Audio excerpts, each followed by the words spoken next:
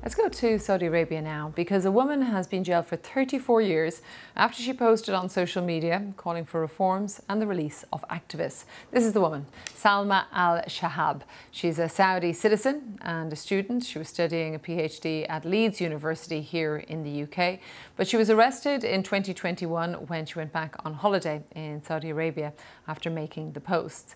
She's accused of aiding dissidents seeking to disrupt public order and warned it was the longest prison sentence ever for a peaceful activist. Now, one of her Twitter posts praised a group of women, uh, women's rights activists, including this woman. This is Loujain Al Hathloul. She and others were detained just before the ban on women driving was lifted a few years ago. The BBC has been speaking to Loujain's sister Lina, who works for an independent organisation that supports human rights in Saudi Arabia it is uh, outrageous and it's actually unprecedented. Um, I mean, we've seen that the Saudi government has been selling the, the narrative of um, empowering women and improving women's rights. And this sentence, after my sister's sentence, is the, an illustration of, of it only being words. Uh, we had warned at the very beginning that rehabilitating uh, Crown Prince Mohammed bin Salman in the international community would pave the way for more repression.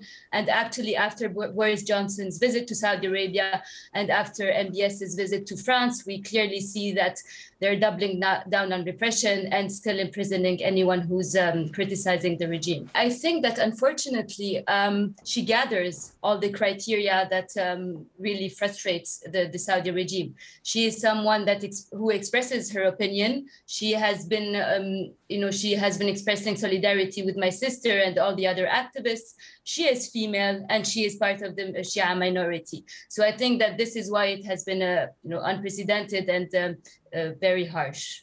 Thanks to Lina. Well, let's hear now from Bethany Al Haidai, who is from the Freedom Initiative. That's a human rights organisation, and she's been working on Salma's case since last year.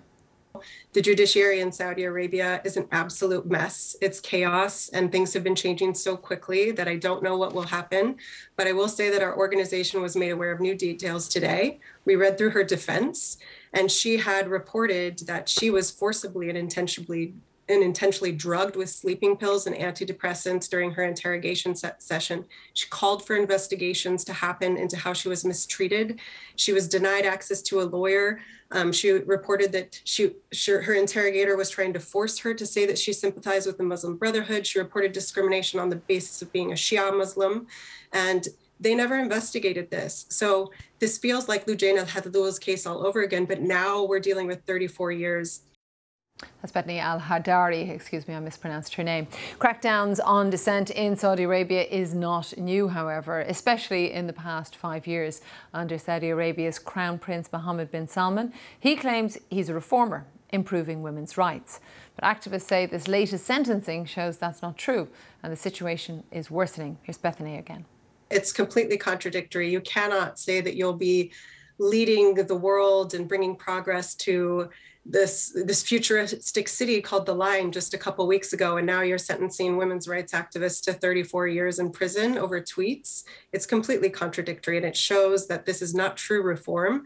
It is just a, a tactic to make the international community be quiet over these violations